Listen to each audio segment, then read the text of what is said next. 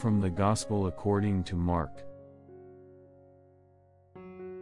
Jesus said to the crowds, This is how it is with the kingdom of God. It is as if a man were to scatter seed on the land and would sleep and rise night and day and the seed would sprout and grow. He knows not how.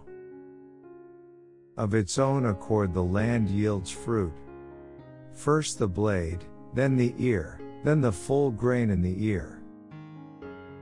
And when the grain is ripe, he wields the sickle at once. For the harvest has come. He said, To what shall we compare the kingdom of God, or what parable can we use for it? It is like a mustard seed that, when it is sown in the ground, is the smallest of all the seeds on the earth. But once it is sown, it springs up and becomes the largest of plants, and puts forth large branches, so that the birds of the sky can dwell in its shade. With many such parables, he spoke the word to them as they were able to understand it. Without parables he did not speak to them. But to his own disciples he explained everything in private. Let's listen to Pope Francis' commentary.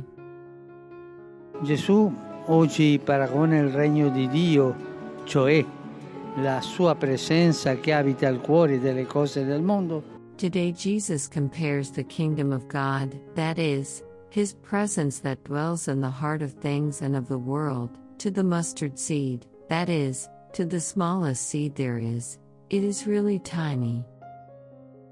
Yet, cast upon the ground, it grows until becoming the tallest tree. This is what God does. At times, the din of the world, along with the many activities that fill our days, prevent us from stopping and seeing how the Lord is conducting history.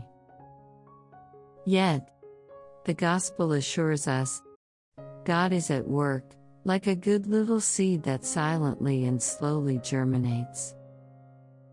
Good, let us remember, always grows in a humble way, in a hidden, often invisible way.